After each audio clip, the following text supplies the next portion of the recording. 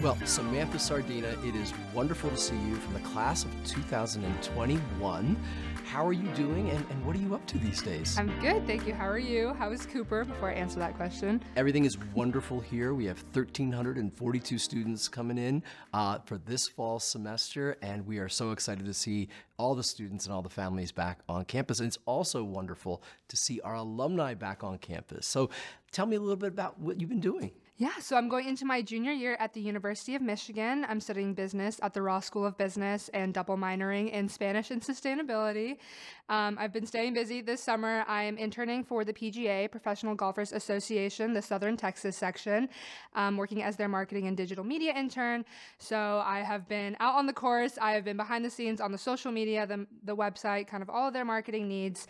But yeah. Fantastic. So you're busy. As you were here at Cooper, you were involved in so many different things here at the John Cooper School. Tell us a little bit about all the activities that you were a part of and that you led. Yeah. So where do I start? Um, I was the president of Student to Student my senior year and started doing that in about seventh grade. Mm-hmm. Um, absolutely love that. That's definitely been my favorite role.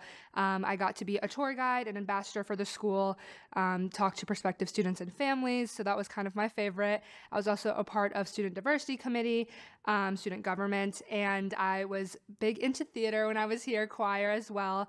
Um, I did all the school musicals that I could, um, sang in all the choir concerts. Um, kind of along with that, I was kind, I was part of Interact as well, um, which definitely kind of transfers over to college as well. But yeah, that's right. So you all involved in all sorts of facets of the Cooper experience. And how did you balance it all with your academics? What, what, were some of the skills that you employed, or how did you learn how to do it? You know, that is a great question. I think back now and I'm like, I was really a superhero. But I think Cooper definitely helped with that, kind of taught me time management starting at a very young age. I think back in fifth and sixth grade, yeah. giving us that planner. You know, um, I definitely still use a planner in college the way that I did here.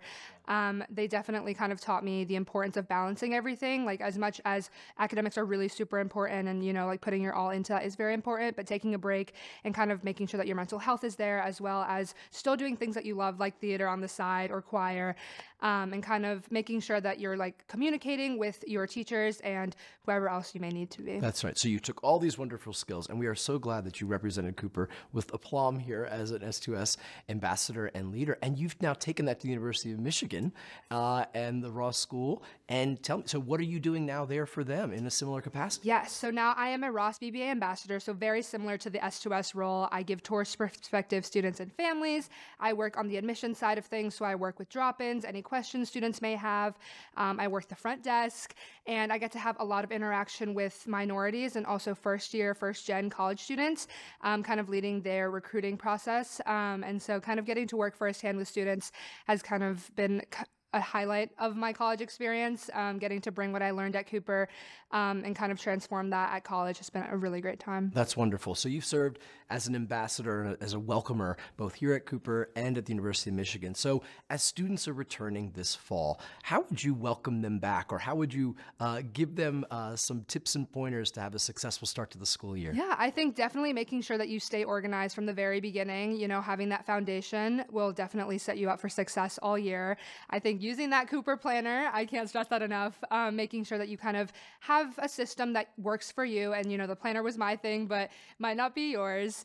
Um, and I think definitely making sure kind of to communicate with your teachers early on, kind of know what's expected of you, read the syllabuses, kind of figure out what you need to do to stay on top of your work.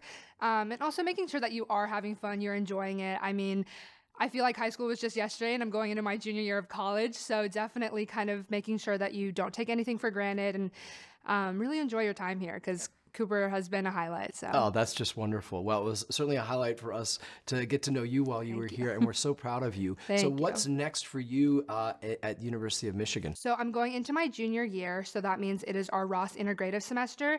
So that means we work with local companies and um, we do real life consulting projects, marketing projects, finance projects, um, and we get to kind of get that real world experience very early on.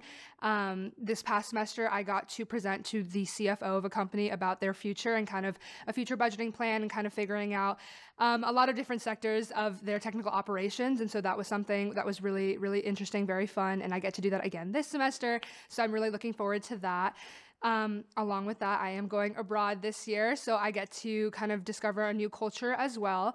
Um, I'm going to Spain, and so I definitely credit Cooper um, teaching me Spanish kind of from fifth grade to my senior year for that. I feel very confident in my Spanish speaking abilities. I'm minoring it, minoring in it at college, um, and so kind of sparked that that love for Spanish very early on as well. Wow, that's fantastic. Well, you are on to big and wonderful things, and we are so proud of you.